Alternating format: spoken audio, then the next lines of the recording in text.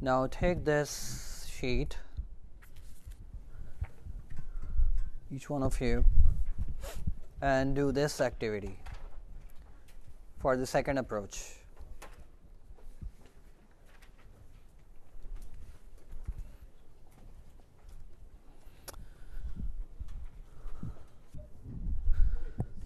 So let's discuss the solution for this one.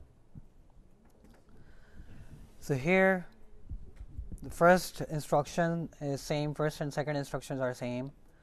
And then we are loading x20 with the value 100 which we are supposed to be doing.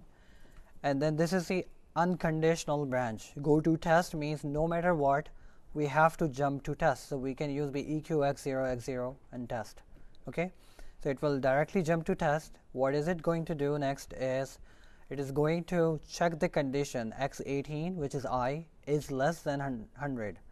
If i is less than 100 this condition satisfy it will jump to loop okay and then it will execute the instruction sum plus i plus equal i and then i plus equal 1 and then it will come down to instruction this one again it will again check the test as long as it's satisfied, it will keep looping back.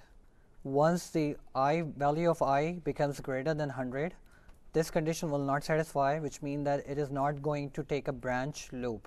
Okay, so what it will do, it will execute the next instruction which is written in order.